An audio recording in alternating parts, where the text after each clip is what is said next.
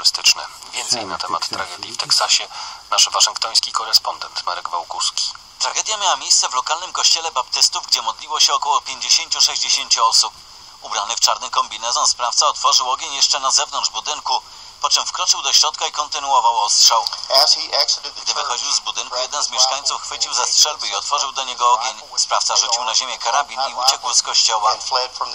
Mówił Freeman Martin z Departamentu Bezpieczeństwa Publicznego Teksasu. Niedługo po strzelaninie sprawca został znaleziony martwy w swoim samochodzie. W tej chwili nie wiemy, czy popełnił samobójstwo, czy został zabity przez mieszkańca naszej miejscowości, który do niego strzelał. Freeman Martin poinformował, że napastnik miał na sobie strój bojowy i kamizelkę kuloodporną. Amerykańskie media, powołując się na prowadzących śledztwo, podały, że sprawcą masakry był 26-letni Devin Kelly. Służył on wcześniej w lotnictwie i pracował jako asystent w wakacyjnej szkole biblijnej. Podczas ataku na kościół posługiwał się karabinem półautomatycznym typu AR-15. Ofiary strzelaniny to osoby w wieku od 5 do 72 lat. Z Waszyngtonu Marek Wałkuski, Polskie Radio.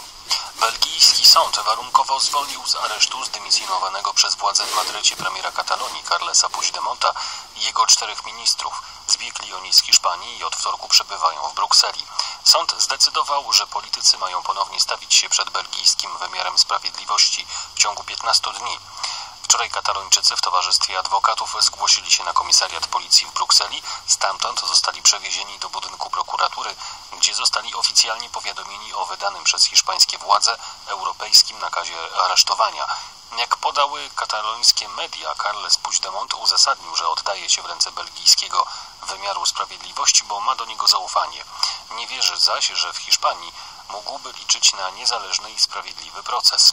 W piątek madrycki Sąd Najwyższy zdecydował o pozbawieniu wolności ośmiu członków katalońskiego rządu, którzy zostali wezwani, by złożyć zeznania.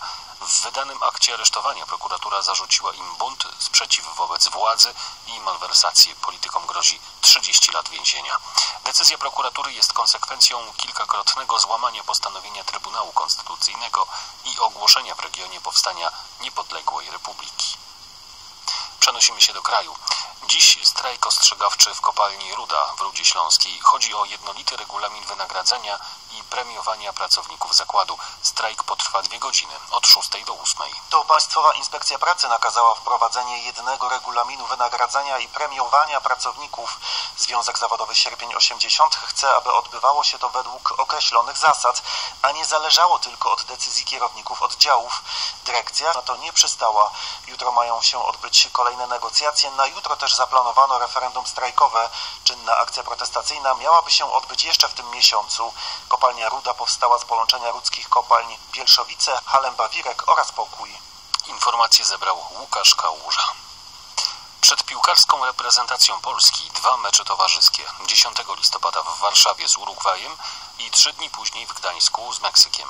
Trener kadry Adam Nawałka postanowił na przedmeczowe zgrupowanie powołać kilku debiutantów Jarosława Jacha, Przemysława Frankowskiego, Rafała Kurzawę oraz napastnika Jakuba Świerczoka. Zdaniem prezesa PZPN to bardzo dobry moment, aby dać szansę na sprawdzenie się w kadrze nowym zawodnikom. Uważam, że selekcjoner e, bardzo dobrze robi, że powołał tych, którzy się w lidze bardzo wyróżniają, ci, którzy e, zasługują. Jest to też element rywalizacji i miejmy nadzieję, że to absolutnie wszystko dobrze wypali. Wszyscy są zawodnicy interesujący. Wiadomo, że jest to tylko na razie poziom ligowy. Trzeba zobaczyć, jak się dostosują, jak będą wyglądali w grupie. Natomiast no, są to ciekawe eksperymenty i dobrze tak się dzieje. A dziś w Warszawie rozpoczyna się przedmeczowe zgrupowanie repre reprezentacji. I na koniec czas na prognozę pogody. W dzień na wschodzie i południowym wschodzie zachmurzenie małe i umiarkowane, na pozostałym obszarze zachmurzenie duże z większymi przejaśnieniami, okresami opady deszczu, a w Sudetach opady śniegu. Temperatura od 4 stopni w rejonach podgórskich, przez 9 na zachodzie, 11 na wschodzie, do 13 na Podkarpaciu. Wiatr słaby i umiarkowany. Polskie Radio 24. Słowem wszystko. 5 minut po godzinie 5. Teraz czas na audycję Kościół Nasz Powszedni i rozmowę z księdzem profesorem Robertem Skrzypczakiem. Zaprasza, zaprasza Przemysław Goławski. Coraz więcej trudności spotyka chrześcijaństwo w Europie Zachodniej. Europa Zachodnia sekularyzuje się, coraz mniej wiernych w kościołach. Niektóre są zamykane, czy tak jak we Francji, gdzie piecze nad zabytkowymi miejscami kultu sprawują merostwa i władze samorządowe. Są one po prostu burzone lub e, sprzedawane. To poważny problem Europy Zachodniej. Tak, Kościół katolicki w Europie Zachodniej nie przeżywa najlepszego okresu w tej chwili. Z jednej strony jest galopująca sekularyzacja, która spowodowała, że wielu ludzi utraciło sens e, obecności Boga w ich życiu, dlatego odwrócili się plecami do mszy, do modlitwy, do konfesjonałów. Sam zresztą pamiętam, jak e, przyjechałem pierwszy raz do Włoch i poszedłem do konfesjonału w niedzielę spowiadać Białej Albie, to nie tylko, że nikt nie podszedł do konfesjonału, co najwyżej, żeby ktoś z przodu, żeby mnie pozdrowić, ale potem nawet nie zdawałem sobie sprawy, że jak wyszedłem z tego konfesjonału, to miałem całe czarne siedzenie, bo tam była taka gruba warstwa kurzu, tam od dawna nikt już nie siedział. Wyszło z użycia. E, ale z drugiej strony mamy dzisiaj do czynienia z pewną przymusową sekularyzacją, dlatego że jest pewien nacisk ze strony opinii publicznej do tego, żeby sprzedawać, pozbywać się kościołów katolickich.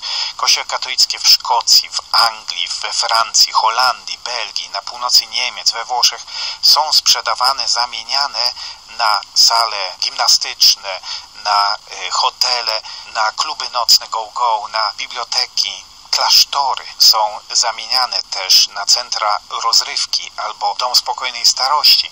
Wystarczy dodać, że księgozbiory na przykład jednego wielkiego opactwa w Belgii zostały sprzedawane na kilogramy. Tam było 200 tysięcy woluminów. Dzisiaj można zobaczyć strony Allegro czy Ebaja. Tam można kupić konfesjonały, kandelabry, trybularze, paramenty liturgiczne. Piękne, stare, które są wystawiane na sprzedaż, bo niektórym ludziom wydaje się, że e, trzeba jakby najszybciej skończyć tamtą epokę. Nie mamy już epoki ryby, czyli chrześcijaństwa, mamy teraz epokę wodnika, czyli postmodernizmu, epokę postchrześcijańską. Mamy do czynienia też z pewnym naciskiem ze strony władz do tego, żeby pozbywać się elementów chrześcijańskich e, z pola widzenia. Takie przykłady jak przez sąd francuski zawyrokowany nakaz usunięcia krzyża z pomnika Jana Pawła II w jednej małej miejscowości we Francji, czy usunięcie krzyży z szwedzkiego kościoła i zamienienie tych krzyży na napis Allah Akbar. Wiele kościołów katolickich jest sprzedawanych e, też wspólnotom muzułmańskim i to przy wydatnej finansowej pomocy także władz lokalnych. Tak jakby ktoś chciał posprzątać po chrześcijanach, tak jakby Chrystus stał się jedynym, któremu zamknęli y, granice przed nosem, albo któremu y, dali nakaz eksmisji. To wszystko jest y, przeciwko współczesnemu człowiekowi, bo Chrystus to jest prawda, droga i życie. Chrystus to jest nadzieja. Chrystus to jest ktoś, kto zmartwychwstał, to jest Syn Boga. Trudno sobie wyobrazić życie przyszłej Europy, która będzie pozbawiona Chrystusa. Jeśli nie będzie w naszej przestrzeni publicznej już kochającego Boga, miłosiernego Chrystusa, przebaczenia grzechów, w ogóle mówieniu o grzechu, jeśli nie będzie odkupienia, jeśli nie będzie nieba, no to wszyscy skończymy prędzej czy później w jakimś wielkim e, zakładzie psychiatrycznym. Albo się pozabijamy, albo staniemy się nowym kalifatem, bo muzułmanie mają trzy cechy, których my nie mamy. Młodość, gorliwość i demografię. Europa pozbawia się sama tego wszystkiego. Jest pocieszające, że na przykład e, Michel Houellebecq, który uchodzi za jednego z najbardziej kontrowersyjnych, wydawałoby się ateistycznych pisarzy francuskich, wstrząsnął opinią publiczną niedawno książką e, Uległość, gdzie wyobraził sobie, że za kilka lat Francja stanie się całkowicie krajem muzułmańskim i to jeszcze za e, dobrowolnym przyzwoleniem elit lewicowych on w tej chwili mnoży wywiady, w których mówi, że to wszystko, co się we Francji dzieje, czyli ta galopująca, przymusowa laicyzacja i z drugiej strony także zagrożenie islamem, powoduje odrodzenie się y, gorliwości wiary wśród młodych katolików. On był pod urokiem pojawiających się młodych ludzi wokół papieża i pod urokiem młodych ludzi, którzy dawali się na ulicach Francji spałować, zbić w obronie rodziny, małżeństwa. I on mówi, ja byłem zawsze przeciwko kościołowi katolickiemu, bo mi się wydawało, że to jest taka stara baba bezpłodna z wąsami, która nie jest e, do niczego potrzebna ani nikogo nie podnieca. A widzę, że Kościół katolicki się odradza. Jest nadzieja. Ale tak jak we Francji na sztandarze jest e, laickość, budowanie państwa, które jest świeckie, które podkreśla brak związku z religiami w ogóle. Tak w innych państwach e, przypomina się o tym, że symbole religijne są niewskazane ze względu na to, by nie obrażać innych. Mówi się o tolerancji. Czy my sami, niejako na własne życzenie, nie rezygnujemy z pokazywania tego, jakie wartości są dla nas ważne, przecież chyba nie da się tego schować w kieszeni, żyć bez tego, czym się żyje. To jest generalny problem, nie? To jest generalne pytanie, które dzisiaj jakby staje przed cywilizacją zachodnią generalnie. Czy można żyć bez pojęcia prawdy? Czy życie ma sens? Czy możemy coś sensownego zbudować, jeśli nie będziemy posługiwać się pojęciem prawdy? Zwłaszcza, że dzisiaj próbuje się udowodnić, że prawdy nie ma, są tylko opinie albo są narracje. Jeden ma taką, drugi ma inną. Możemy tylko siebie nawzajem tolerować, jeśli nie chcemy siebie zjeść. Jak długo będzie trwał taki styl, taki sposób myślenia? To jest coś nienaturalnego i nieludzkiego. Człowiek potrzebuje prawdy. I cywilizacja się rozwija wtedy, kiedy człowiek pokornie jest gotowy stwierdzić, że istnieje prawda, istnieje prawda jedna, ona nie musi mieć przymiotnika i tej prawdy nie zawdzięczam sam sobie, ja jej nie muszę wymyślić, wykreować. Ona jest mi dana, ona jest obiektywna. Ludzie dzisiaj, elity ogarnięte taką ideologią, że trzeba walczyć z Bogiem, trzeba walczyć z chrześcijaństwem, z dobrą nowiną, z katechizmem, z autorytetami, nie zdają sobie sprawy z tego, że y, budują życie, które nie ma przyszłości. To jest model, który koncentruje myślenie człowieka tylko na swoim własnym dobrobycie, na czystości środowiska naturalnego, na tym, żeby nie mieć kłopotów, że można polegać tylko na dobrej polisie ubezpieczeniowej i dobrym lekarstwie, jest życiem, które nie bierze pod uwagę dobra dzieci, wnuków, prawnuków. Tam nie ma myślenia o przyszłości. My stajemy się ludźmi, którzy nie idą w żadną stronę, nie mają nadziei. Taki sposób życia jest, zostanie prędzej czy później zawładnięty przez jakiś nowy totalitaryzm. Albo Europa zostanie podbita przez e, muzułmanów i to nie z winy muzułmanów. Muzułmanie mają pragnienie życia i mają przekonania z winy Europejczyków, którzy stracili szacunek do siebie samego i swojej własnej przyszłości i są bezpłodni i bezideowi. Albo to się wszystko zamieni e, w powrót e, pogaństwa, czyli wrócimy do politeizmu i wrócimy do, do epoki przed Mojżeszem i przed Jezusem Chrystusem. E, ja mam nadzieję, że mm, Bóg dopuszcza dzisiaj taki kryzys i to jest pewna kara, jaką Bóg syła na głupotę Europejczyków, także wielu ludzi w Kościele, którzy wytracili e, prawdziwą nadzieję i miłość do Jezusa Chrystusa. E, to jest kara, żebyśmy się opamiętali, tak jak kiedyś, e, niegdyś Bóg wobec e, obojętności Izraelitów używał Chaldejczyków, bardzo okrutnych, którzy napadali na Izraelitów. Izraelici wtedy wracali do Boga. Pytali się o to, co jest fundamentem, co jest prawdą w życiu. Tak być może i dzisiaj potrzebujemy pewnego wstrząsu, pewnego wytrącenia ze świętego spokoju i dobrego samopoczucia, żeby człowiek mógł znowu nabrać e, bojaźni Bożej i, i zapragnąć spotkania z tym, co jest fundamentem naszej cywilizacji. Kochaj Boga całym sercem i całą duszą oraz kochaj drugiego człowieka jak bliźniego, jak siebie samego. Czyń to, a będzie żył. I z tym zaproszeniem do refleksji, do spojrzenia na to wszystko, co jest fundamentem, co u podstaw, co jest korzeniem przecież tej wielkiej i wspaniałej cywilizacji europejskiej. Do tego warto zaprosić i o tym przypominać. Bardzo dziękuję za rozmowę. Ksiądz profesor Robert Skrzypczak. Dziękuję, szczęść Boże. Do usłyszenia mówi Przemysław Goławski. Powtórka programu. Północ, południe. Program informacyjny Polskiego Radia 24. Przed mikrofonem Grzegorz Szątczak, czas na magazyn Północ-Południe.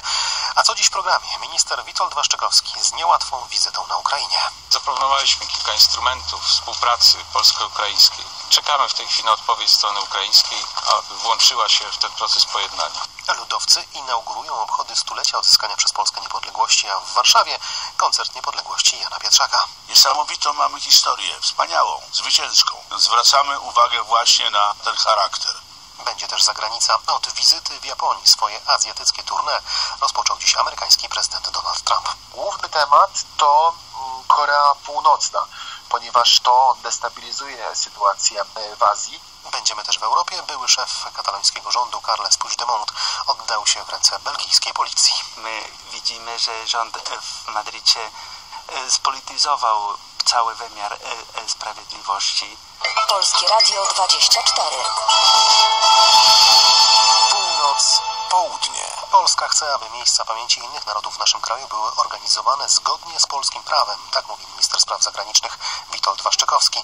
Jak przypomina nasz kraj, kilka lat temu proponował, aby wyjaśnić z Ukrainą wszelkie kwestie historyczne, które dzielą oba kraje.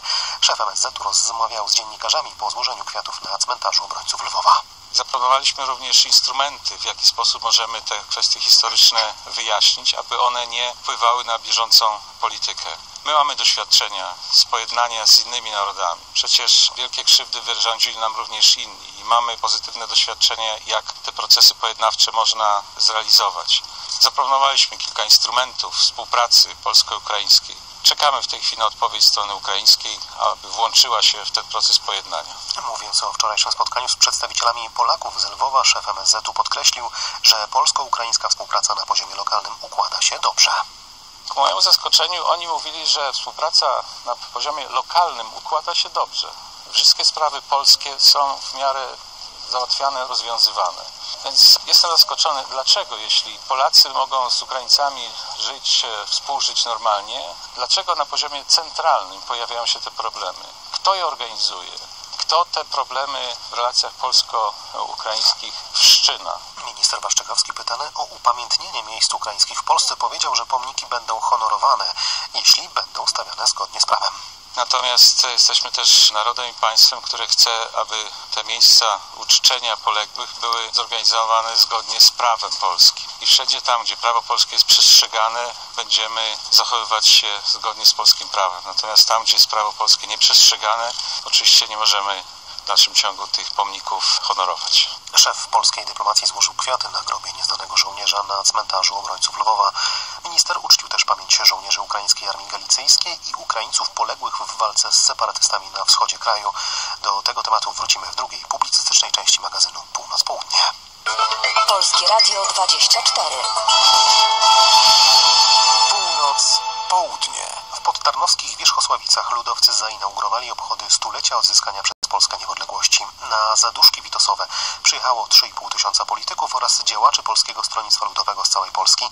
Prezes PSL-u Władysław Kośniak-Kamysz przekonywał, że to najważniejsze zgromadzenie ludowców w Wierzchosławicach od czasu pogrzebu Witosa, trzykrotnego premiera Polski, który, jak podkreślał Kośniak-Kamysz, przyczynił się do odzyskania niepodległości. Częścią wielkiej, niepodległej ojczyzny jest ruch ludowy. Nie jesteśmy od nikogo gorsi. Mamy być dumni z tego, skąd pochodzimy kim jesteśmy. Dobrze służymy Polsce i Polakom. Władysław Kośniak-Kamysz przekonywał, że dzisiaj jest czas na zjednoczenie Polski, Polaków i przywrócenie braterstwa. Polacy chcą normalności. Potrzebują siły, która jest siłą rozsądną, sprawiedliwą, godną, dumną, dążącą do Polski wolnej, rozumieniu wolności indywidualnej, ale wolności, która jest też odpowiedzialnością za czasy dzisiejsze i za przyszłe pokolenia. Kosiniak-Kamysz dodał, że ludowcy będą organizowali powszechne obchody setnej rocznicy odzyskania niepodległości w każdej gminie i powiecie. Będą to zarówno wydarzenia patriotyczne, jak i pikniki. PSL chce też w przyszłym roku zapalić 1918 ognisk w całym kraju na znak braterstwa. Polskie Radio 24. Północ, południe. Minister Obrony Narodowej Antoni Macierewicz, Bogdan Urbanow, Urbankowski, pisarz, eseista, filozof oraz szef IPN Jarosław Szarek to wyróżnieni w tym roku przez Towarzystwo Patriotyczne Jana Pietrzaka za pracę na rzecz ojczyzny i społeczeństwa. Przyznanie statuetek zbiega się jak zwykle z rocznicą odzyskania niepodległości przez Polskę. W poprzednich latach odznaczenia Towarzystwa Patriotycznego otrzymywali politycy, działacze społeczni, twórcy czy naukowcy. A na uroczystej gali był reporter Polskiego Radia 24 Michał Walczyk. Nagrodę główną tegorocznej edycji Towarzystwa Patriotycznego otrzymał minister obrony narodowej Antoni Macierewicz. To wyróżnienie za niezłomną wiarę w Polskę i wytrwałą pracę dla dobra Polaków. Przyznając nagrodę, Jan Pietrzak przypomniał zaangażowanie Antoniego Macierewicza w tworzenie Komitetu Obrony Robotników po brutalnym stłumieniu przez komunistyczne władze protestu robotników podczas radomskiego czerwca 1976 roku. Tworzyć Komitet Obrony Robotników w ustroju rządzonym przez klasę robotniczą i robotniczą partię i to zjednoczoną. To było, proszę Państwa, to było zadanie zwieszcza, mierz siły na zamiary. Antoniemu Macierewiczowi starczyło sił i zamiar się udał. Idea praktycznej, realnej pomocy ludziom prześladowanych przez komunę już niebawem przerodziła się w polską solidarność, najpierw jako pewien stan świadomości, następnie jako organizacja buntu przeciwko sowieckiej władzy w Polsce. To historia ogromnej ilości ludzi, dzięki którym mieliśmy wielką szansę, aby odzyskać niepodległą Polskę, powiedział szef Ministerstwa Obrony Narodowej Antoni Macierewicz. To jest cud, który na naszych oczach się zdarzył, a w który rzeczywiście olbrzymia ilość ludzi w ciągu ostatnich 70 lat przestała już wierzyć. Antoni Macierewicz przyznał, że walka o niepodległość wciąż się toczy. Jesteśmy w ogniu tego procesu. Jego fragmentem jest także odbudowa polskiej siły militarnej, odbudowa polskiego wojska. Gdybyśmy musieli się bronić, ale dobrze wiemy, że sam fakt posiadania silnej armii jest najskuteczniejszym sposobem uniknięcia wojny. Drugie wyróżnienie w tym roku przyznane zostało wybitnemu pisarzowi i eseiście Bogdanowi Urbankowskiemu, który był niezwykle często prześladowany przez władze PRL. To autor słynnej książki pod tytułem Czerwona Msza, czyli Uśmiech Stalina, opisującej upadek polskich elit w okresie początku PRL-u. Bogdan Urbankowski opracował też niezwykłą monografię Józef Piłsudski, Marzyciel i Stratek. Prezentował też postacie Adama Mickiewicza czy Karola Wojtyły. Jest to jakby nobilitacja, jest to przyjęcie do pewnej elity tych, którzy o niepodległość starali się walczyć, starali się pracować tam, gdzie sięgały ich ręce. Należę do tych, którzy no może nie dorobili się daczy, samochodów, kont za granicą, więc tym bardziej się cieszę, że należę także do tych, którzy dorobili się skrzydeł. Dziękuję. Towarzystwo Patriotyczne doceniło także dorobek Instytutu Pamięci Narodowej, a zwłaszcza ostatni czterominutowy film Niezwyciężeni. Animowaną historię polskiej drogi do wolności od wybuchu II wojny światowej aż do przemian w 1989 roku obejrzało już kilka milionów osób na całym świecie. Odbierając statuetkę szef IPN-u Jarosław Szarek zapowiedział. Ten film Niezwyciężeni będzie początkiem wielkiej akcji Niezwyciężeni 1918. Chcemy pokazać 88 tysięcy naszych przodków oznaczonych krzyżami, medalami niepodległości, osoby zasłużone, które oddały często życie w tamtym czasie o to, żebyśmy po 123 latach wrócili na mapę Europy. Statuetki Towarzystwa Patriotycznego są w kształcie husarskich skrzydeł.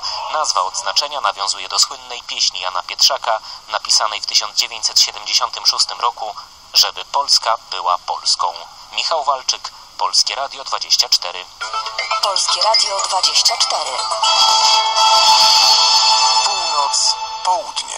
A my teraz przenosimy się za granicę. Donald Trump przybył do Japonii, rozpoczynając tym samym swoją pierwszą azjatycką podróż na stanowisku prezydenta Stanów Zjednoczonych. W ciągu 12 dni Trump odwiedzi pięć krajów regionu, w tym jak, o tym, jakie będą to kraje i jakie będą główne tematy tych rozmów, nasz amerykański korespondent Jan Pachlowski. Przede wszystkim pierwszy kraj to Japonia i spotkanie z premierem Shinzo Abem. Główny temat to Korea Północna, ponieważ Japonia to jest jeden z krajów najbardziej zagrożonych właśnie możliwymi atakami przez Pjongjang, jeżeli chodzi o właśnie tutaj te takie bardzo ekspansywne działania reżimu Kim Jong-una, który podkreśla, że jest w stanie wyprodukować broń masowego rażenia i zaatakować zarówno Japonię, jak i Stany Zjednoczone. To destabilizuje sytuację w Azji i e, również jest spore zagrożenie w stosunku do Stanów Zjednoczonych i o tym będą rozmawiać obaj politycy. Natomiast później, to będzie we wtorek, Donald Trump poleci do Korei Południowej, później będą to w kolejności Chiny, Wietnam i Filipiny. I co ciekawe, o czym dużo mówi się nie tylko w politycznych kuluarach, ale również w amerykańskich i międzynarodowych mediach, ma dojść do spotkania z Władimirem Putinem, czyli prezydentem Rosji, chociaż tutaj nie ma jeszcze tego potwierdzenia w 100%. I właśnie do takich rozmów mogłoby dojść w kolorach szczytu współpracy gospodarczej Azji i Pacyfiku, który właśnie na początku listopada odbywać się będzie w Wietnamie. To jest jeden właśnie z głównych punktów wizyty Donalda Trumpa w Azji. Jakie będą skutki i jakie będą w ogóle efekty tej wizyty?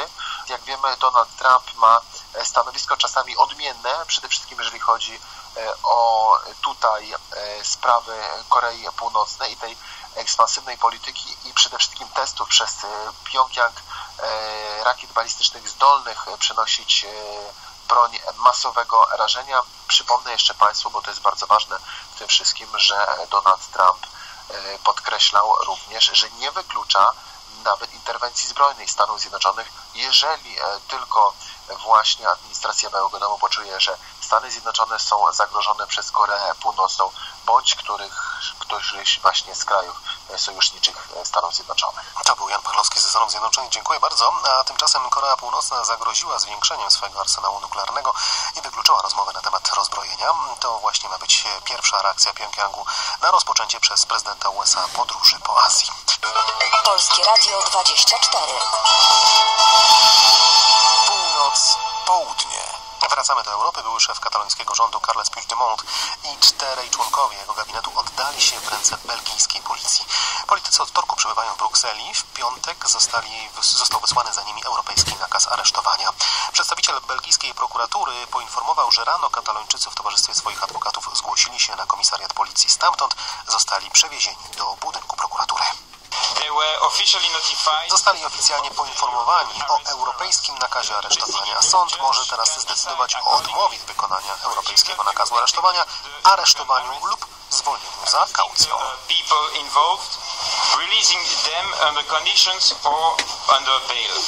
Najpóźniej jutro po południu ma być wiadomo, czy katalończycy pozostaną w areszcie, czy wyjdą na wolność.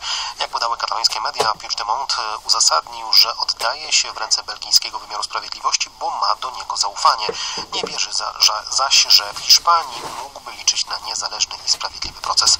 Również gość Polskiego Radia 24, Javier Bordas, katalończyk, który od lat 80. mieszka w Warszawie, uważa, że Puigdemont nie może liczyć na uczciwe postępowanie sądowe w Hiszpanii. My widzimy, że rząd w Madrycie spolityzował cały wymiar sprawiedliwości i, i to, co obserwujemy, jest, przypomina raczej właśnie czasów dyktatury. Ja, ja mam już prawie 60 lat i, i pamiętam takie czasy. Javier Bordas uważa, że środki przymusu stosowane przez rząd w Madrycie wzmocnią tylko katalończyków, którzy chcą niepodległości. Ja nigdy nie widziałem swojego narodu tak zjednoczonego i tak z taką determinacją. To są zupełnie dwie odmienne kultury.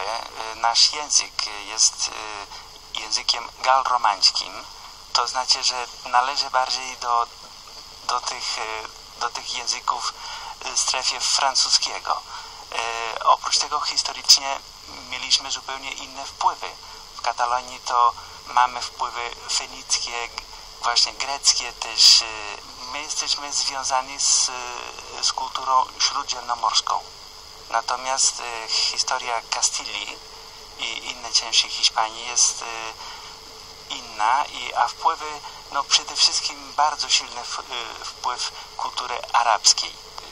Ja zajmuję się tłumaczeniem językiem i, i, i to coraz bardziej odkrywam, jak bardzo jest ten wpływ, ale oprócz tego to, to znam się trochę na psychologii i, i też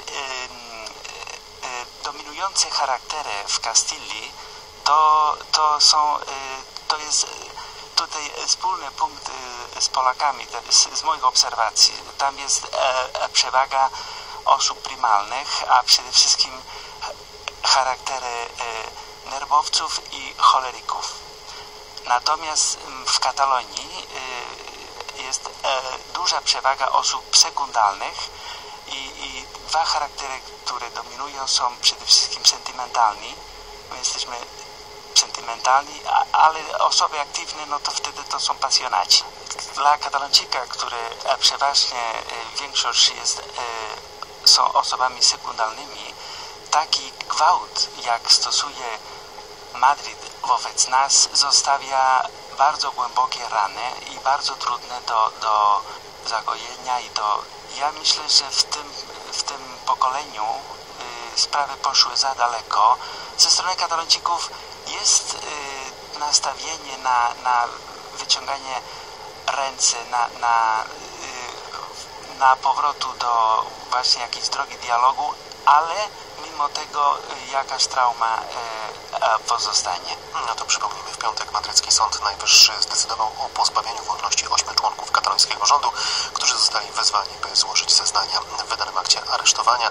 Prokuratura zarzuciła im bunt, sprzeciw wobec władzy i malwersację. Politykom grozi za to do 30 lat więzienia. Decyzja prokuratury jest konsekwencją kilkakrotnego złamania postanowienia Trybunału Konstytucyjnego i ogłoszenia w regionie powstania niepodległej republiki.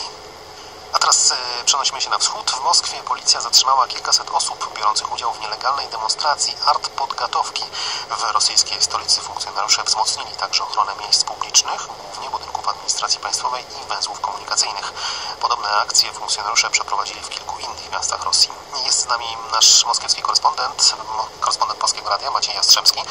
Dobry wieczór, witaj. Dobry wieczór. To najpierw wyjaśnimy słuchaczom, czym jest Art Podgatowka i dlaczego władze reagują na nią w ten alergiczny sposób.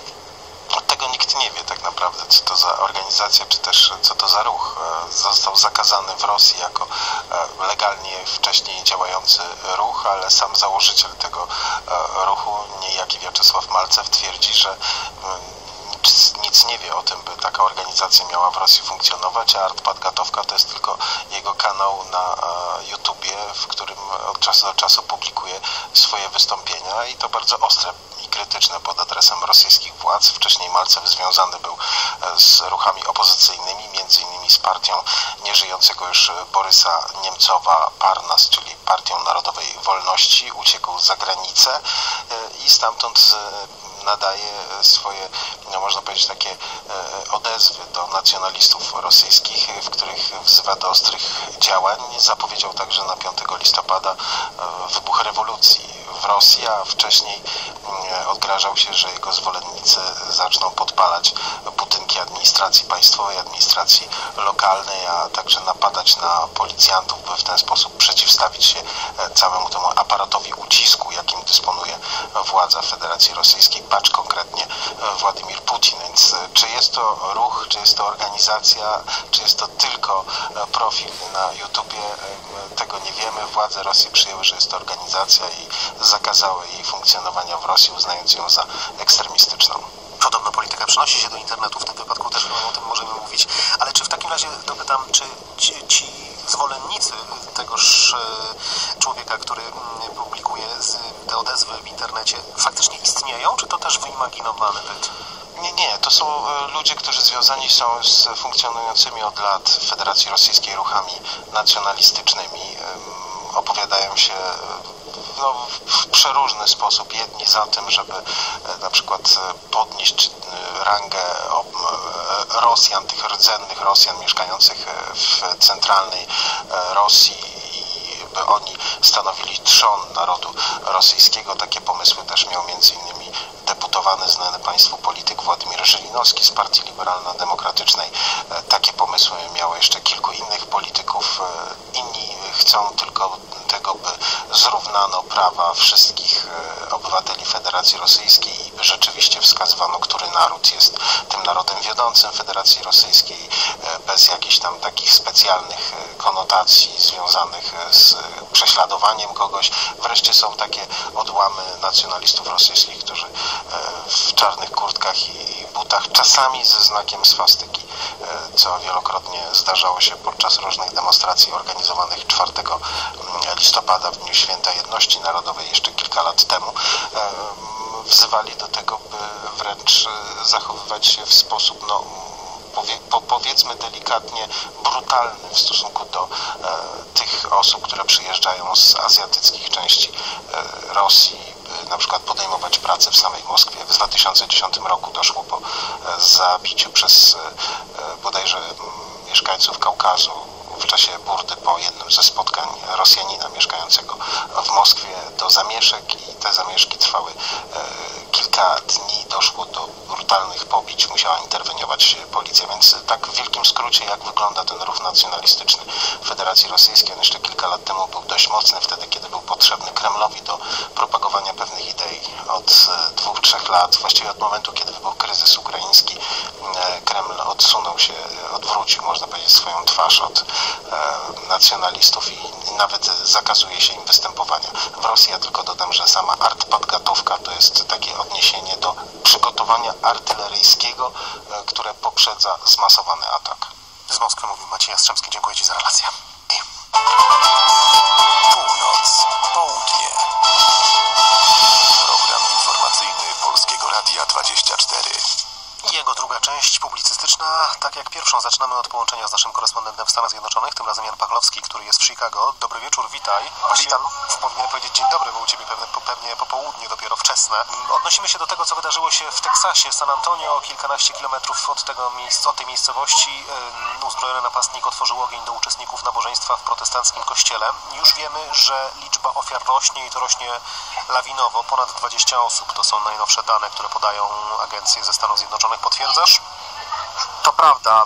Zresztą tak przeglądając amerykańskie media, przed spotkaniem jeszcze z Państwem na antenie Polskiego Radia 24, to te liczby są różne, ale zawsze w przypadku właśnie tych najnowszych doniesień związanych z taką tragedią, jaką mamy teraz właśnie w Teksasie, to to z biegiem minut będzie się zmieniać i niestety wszystko wskazuje na to, że te liczby, jeżeli chodzi o ofiary śmiertelne, niestety tylko będą rosły. Niektóre media podają e, około 20 ofiar. Pojawiły się już pierwsze informacje, że jest 27 ofiar śmiertelnych i kilkanaście rannych. Tutaj pojawiły się takie doniesienia, że rannych jest około 30 osób, w tym e, kilka jest w stanie krytycznym i jak władze podkreślają, wszystko wskazuje na to, że ten najbardziej tragiczny bilans niestety będzie się tylko pogarszał. Napastnik wszedł do e, kościoła podczas nabożeństwa, to było przed południem czasu lokalnego i po prostu zaczął strzelać do ludzi jak do kaczek. To są wręcz nieprawdopodobne informacje, które do nas dochodzą. Zbieramy je specjalnie dla Państwa. Co na tą chwilę wiemy? Napastnik został e, po krótkim pościgu przez policję zastrzelony. Oczywiście w tej chwili jest e, za wcześnie powiedzieć, jeżeli chodzi o motywy jego działania, ale zawsze takim przypadku pojawiają się pytania, czy e, był to po prostu szaleniec, e, który strzela do ludzi, czy być może te działanie miało e, jakiekolwiek pobudki terrorystyczne. W tej chwili nie jesteśmy również w stanie Państwu na to pytanie odpowiedzieć. Czekamy na konferencję prasową władz, która być może już e, coś e, nam wyjaśni, już będziemy wiedzieć coś więcej. Natomiast tak sobie przypominam, bo przecież to jest kolejna masowa strzelanina w Stanach Zjednoczonych na przestrzeni pięciu tygodni, dokładnie pięć tygodni temu e, w Los Angeles sprawca z okna hotelowego, przepraszam, Las Vegas, sprawca z okna hotelowego, to Państwo pamiętał, zabił ponad 50 osób i do teraz nie znamy motywu działania właśnie szaleńca. Tak więc również nie wiemy, jak będzie tutaj w przypadku tego, co zdarzyło się na przedmieściach San Antonio mniej więcej 3 godziny temu. E, oczywiście są pierwsze komentarze najważniejszych polityków e, w Stanach Zjednoczonych. E, Donald Trump napisał na Twitterze, że modli się za wszystkie ofiary i poszkodowanych tych tragicznych wydarzeń oraz, że FBI oraz inne służby są na miejscu i będą wyjaśniać przyczyny tego wszystkiego, co tam doszło. Oczywiście nie brak takich komentarzy w nawiązaniu do tego, co stało się we wtorek w Nowym Jorku. Przypomnę Państwu, że osoba, która wygrała zieloną kartę, w taki sposób tak, tak, znalazła się w Stanach Zjednoczonych, pochodząca z, Uzbekistanu. Uzbek e, wjechał samochodem dostawczym w ludzi na południowym Manhattanie, zabijając osiem e, osób. E, potem zostało e, schwytane przez policję i wiadomo, że akurat to działanie miało pobudki terrorystyczne, bo e, sprawca tamtemu, e, tamtego wydarzenia e, przysięgał wierność ISIS, czyli e, tak zwanemu państwu islamskiego. Ale właśnie wówczas Donald Trump powiedział, że do takich tragedii dochodzi, bo jest głosowanie na e, zieloną kartę i e, w Stanach Zjednoczonych emigranci nie powinni być tak łatwo przyjmowani. I w tym momencie pojawiają się głosy. Dobrze, przyjmowani są emigranci, e, także sposobnego ludzi, ale my nie jesteśmy sobie stanie dać radę e, z własnymi obywatelami, z tym, że jest zbyt łatwy dostęp do broni. Dzisiaj mamy kolejny temu dowód, kolejna masowa zestrzelanina, zresztą e, w ostatnich dniach bo tak analizując tylko ostatnie te 5 tygodni, o których Państwu mówimy, no to przecież strzelanina w Las Vegas. Yy, W środę w Denver doszło do strzelaniny w Walmart, w wielkim supermarkecie na przedmieściach Denver, kiedy sprawca wszedł do sklepu i zaczął strzelać do ludzi. Cudem tam w popłochu większość udało się uciec, zginęły trzy osoby tylko. W przypadku San Antonio tych ofiar jest zdecydowanie więcej. Poznajemy szczegóły na ten temat. Niestety te najbardziej tragiczne doniesienia mówią, że mamy około 30 ofiar, ponieważ media y, amerykańskie tutaj y, ostrożnie piszą, że co najmniej 20. Pojawiły się już informacje, że 27, ale też no, podkreślamy, że 30 osób jest poszkodowanych, w tym e, kilkoro e, jest w krytycznym stanie. Z Chicago mówił Jan Pachlowski, nasz amerykański korespondent. Bardzo dziękuję. Sutherland Springs, tak nazywa się ta miejscowość, leży niedaleko San Antonio w Teksasie. Od powyżej 20 osób nie żyje, 30 osób jest rannych. Sprawca tej strzelaniny, czy szaleniec, czy terrorysta, tego jeszcze nie wiemy, został zastrzelony po krótkim pościgu przez e, policję. Więcej informacji oczywiście w naszych serwisach informacyjnych. Polskie Radio 24. Północ, południe. A my wracamy do Polski, do polskiej polityki. Od wczoraj jest porozumienie. E, Nie między jedną albo drugą stroną, ale to chodzi o nową partię, nową nazwę. Porozumienie, partia Jarosława Gowina zadebiutowała wczoraj kilkanaście minut po godzinie 13. Wtedy została ujawniona nazwa, e, ujawnieni liderzy. No i wszystko zaczęło się kręcić. Czy to początek kampanii właśnie przedwyborczej, przed kolejnymi zbliżającymi się wyborami? To pytanie za chwilę pewnie padnie. Jakub Jałowiczor, gość niedzielny i Maciej Chutkiewicz, zastępca redaktora naczelnego tygodnika Solidarność z nami. Dobry wieczór, witam panowie. Dobry wieczór, witam. To zacznijmy od kwestii semantycznych, czyli nazwa, porozumienie. Podoba się, nie podoba się? To jest porozumienie to jest coś takiego, co, co jest zawsze dobrze widziane i na pewno tym się kierował, e, tym się kierował Jarosław Gowin, kiedy wybierał tę nazwę, czy też, e, czy też jego PR PR-owcy. E, z tej nazwy niektórzy już kpią, mówią, że za bardzo przypomina porozumienie centrum, więc trochę to wygląda tak, jakby za bardzo się Jarosław Gowin próbował przed- spodobać e, Jarosławowi Kaczyńskiemu. Szczerze mówiąc, nie wiem, czy akurat nazwa tej partii to jest coś, co, e, co odegra jakąś szczególnie wielką rolę. E, jeśli, jeśli można tutaj to oceniać, skojarzenia z takim słowem jak, jak porozumienie są pozytywne. Tak jak kompromis, tak jak zgoda, to wszystko jest w polskiej polityce raczej, raczej po prostu dobrze widziane. Ja właśnie, tak, no, z tego powodu myślę sobie, że znaczy, owszem, to jest no, dobrze widziane, to jest zgoda i w ogóle, natomiast nie ma takiej iskry, która powoduje, że za takimi politykami chciałoby się pójść. O ile patrząc do takiego e, punktu widzenia, że mamy dzisiaj taką rozwałkę na scenie politycznej, wszyscy ze wszystkim się kłócą, walczą o totalną opozycję, to fajnie, że pojawia się porozumienie, ale z drugiej strony słyszymy, że to ma być taki e, twór elektoratu centrowego, który ma przede wszystkim mobilizować takich wyborców republikanów, czyli przedsiębiorców, mikro, małych przedsiębiorców i jak sobie myślę o takich ludziach, którzy są mikroprzedsiębiorcami, czy generalnie prowadzą jakieś firmy, prowadzą jakieś biznesy, to są ludzie dosyć dynamiczni i oni pewnie oczekiwali, oczekiwali od całej partii także jakiejś dynamiki. Natomiast porozumienie to jest coś, co nie kojarzy mi się z dynamiką, nie kojarzy mi się z walką, z prawa przedsiębiorców, tylko raczej o tym, żeby się siedzieć i dogadywać. Tutaj to jest dla mnie taki pewien dysonans, dlatego ja nie jestem przekonany co do nazwy tej partii, myślę, że raczej z tego powodu, jeżeli chodzi o nazwę sukcesu, nie odniesie. No to jeszcze dodam, że dziennikarze może niektórzy się śmieją, a niektórzy mm, drapią po głowie i zastanawiają, jaki skrót o, w stosunku do nowej partii e, stosować. Bo jest Polskie Stronnictwo Ludowe, PSL, Prawo i Sprawiedliwość, PiS, a tutaj porozumienie, no właśnie, może być pewien kłopot. Może po prostu będzie od PL, bo nie wiem, No, I to się z PR-em kojarzy z, koleży, z kolei.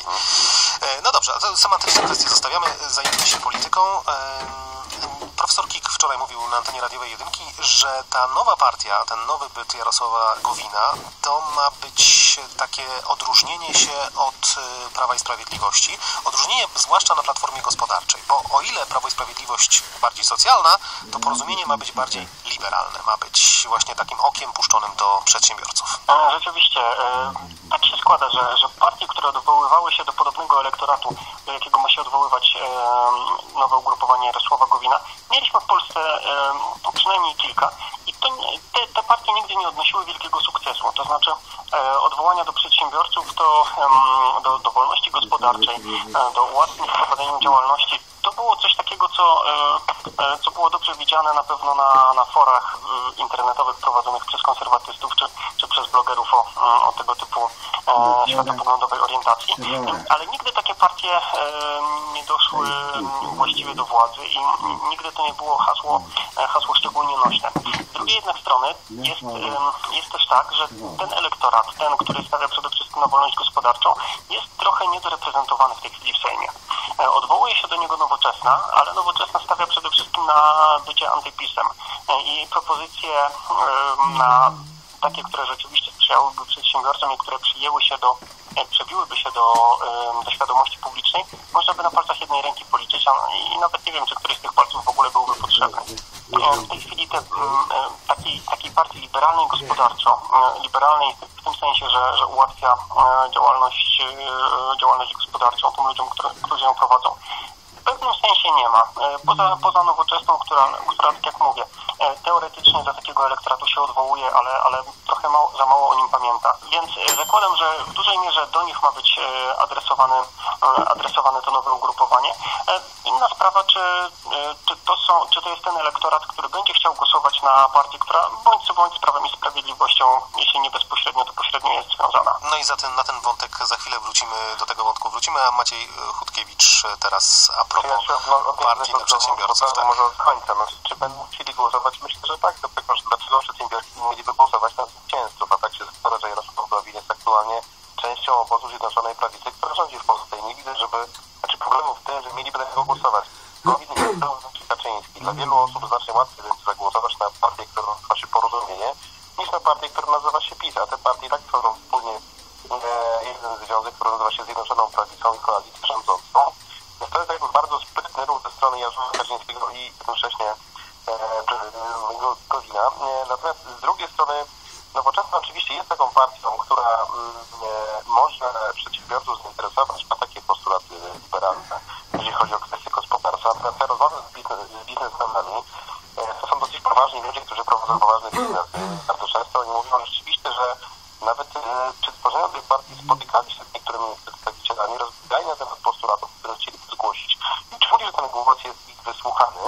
Natomiast jakby ta, ta wiara w nowoczesną skończyła się dosyć szybko, skończyła się kilka miesięcy po wypadach i potem już tylko było takie zdanie, to jest cytat, ale ten rysiek takie machnięcie ręką, myśląc oczywiście o panu przewodniczącym e, Petru, mam wrażenie, że tam lider po prostu nie dał rady. Tutaj może być inaczej.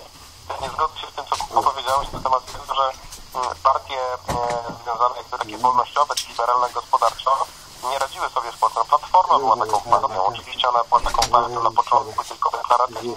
Później e, okazało się, że nie jest bardzo socjalna i trochę liberalna, tak naprawdę nie wiadomo jaka. Natomiast bardzo wiele na początku było takich postulatów, że to jest partia, która jest wsparta na przedsiębiorców, na przedsiębiorców, na liberalizm gospodarczy i tam tego jakby socjalu czy, czy, czy takiej e, wspierania pewnych e, ideałów socja- e, socjaliberalnych, nie, no, proszę że nie było oczywiście za specjalnie, e, specjalnie dużo. No, tam, e, sam Jarosław Gowin e, deklaruje, że oni nie chcą być drugą platformą, chociaż takie porównania już się gdzieś tam pojawiły, że to jest taka partia właśnie trochę centrowa, centrowo-prawicowa, e, ale z pewnym odwołaniem takim do, do wartości republikańskich, natomiast będąca w dużej mierze po środku. I ten środek to jest rzeczywiście gigantyczne pole do zagospodarowania i tam jestem bardzo ciekaw, jak to się skończy.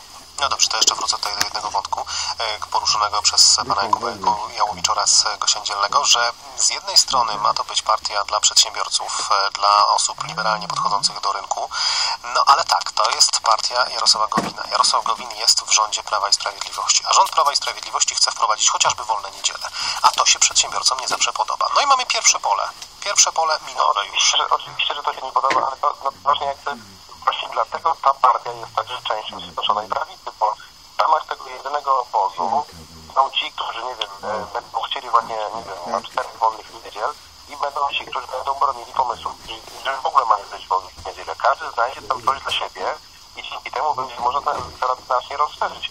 Może nawet ponad 50%. To jest bardzo sprytne, bo jest całkiem do zrobienia. Zresztą Platforma w szczycie największej swojej popularności tak miała propozycje dla wszystkich. Donald Tusk mówił o wprowadzenie euro, ktoś mówił o innych pomysłach. Każdemu to się podobało, a dzięki temu elektorat się podobał. Że to się nie zaprzecza, wbrew pozorom może z sprawnie funkcjonować. No, chyba, że osiągniemy porozumienie nomen omen właśnie w sprawie niedziel. Jakub Maciej Chudkiewicz. Je- Jeżeli osiągniemy porozumienie, oczywiście mam nadzieję zresztą, że takie porozumienie osiągniemy, zaczniemy prawdopodobnie w stycznia przyszłego roku z dwiema niedzielami wolnymi e, w miesiącu. No, myślę, że taki konsensus, który rzeczywiście będzie przyjęty. Zresztą co jest ciekawe,